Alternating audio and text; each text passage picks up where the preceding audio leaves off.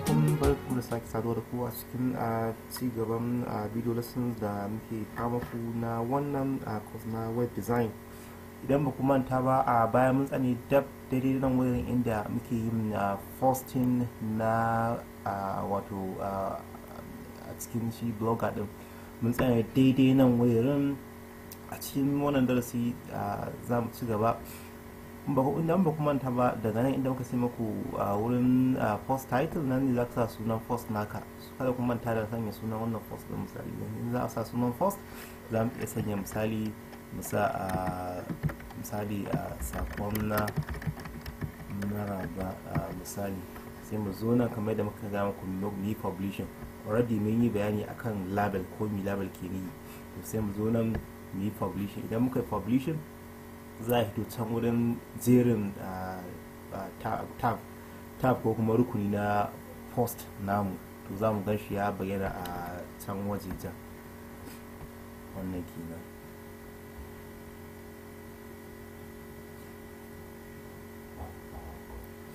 mun gani kamar nan? Gashi nan duk wani post da muka za mu gan shi a nan saboda muna under wannan tab ne na posts. So duk wani post da muka yi za mu gan shi a nan wurin. Kuma idan muka yi duba idan muka yi biyu din page nan namu misali muka yi biyun din shi za ta nuna mana me ke cikin page din. Za mu ga irin post din da muka yi a cikin page din da sauran kunga kamar yanzu ga page din mu ga post da muka yi ga kuma wato wannan abubuwan na gaya maku na wato gadgets kenan. Ga shi popular post ga blog ake wannan ya shi yake amfani ake amfani shi wurin nuna post post din da kai a baya. Kuma ga shi nan wannan da yake shine post na farko kuma ga shi ya sanya wannan kenan.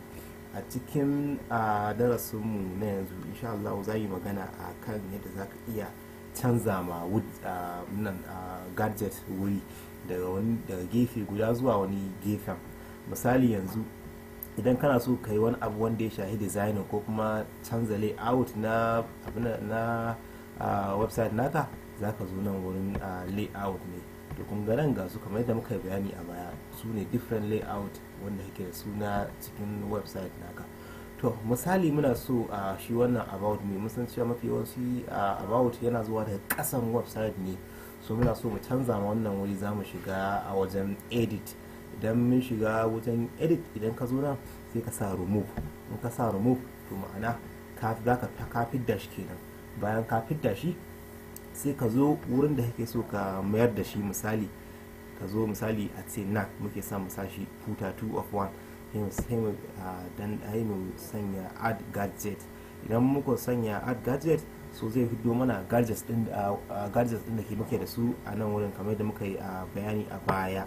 So ga yanan za mu amfani da profile nan muka sanya muka zaɓe shi nan za mu cike abin da muke buƙata nan ya hito a matsayin sunan. Misali in ba mu kata about ne ya hito muna iya sanya wato sadarwa web design. Wannan kina idan muka sa save so za ya save sai ya fito inda muka bukace shi. Kun gani muka biyu na shi wannan abin idan muka idan muka biyun din shi wannan website namu in muka reloading din shi so kun gani wato about me ta tashi daga nan wajen ta koma daga nan ƙasa. Mun yi repositioning nashi kenan. Baya ga nan kuma idan kana so kamar da a cikin rukuni ko kuma wani sashe na musamman misali kun nan akwai gadget guda biyu. So kuma guda nawa ne tana yiwa akwai wani wanda yake so ya kasance shine a sama ko kamar da wani ƙasa da sauransu. Misali yanzu in wannan block archive din shi nake so ya kasance a sama zan zo wurin shi ne sai in yi dragging sai in dago shi in maido shi nan sama. To kaga shi ya dawo sama kenan. Duk inda ke da wani gadgets wanda ya wuce guda ɗaya. Idan kana so ka canza masu wuri ka ɗauke ɗaya misali ka hiddo wani kamar shi sama to za ka daidai wurin ne sai ka yi dragging. Ma'ana za ka riƙe za ka yi right clicking ne sai ka danne sai ka matsar da shi inda kake a buƙata wannan kenan insha Allahu mu na gaba za mu yi magana akan wato yadda ake creating pages da kuma yadda ake adin shi a cikin wato website naka.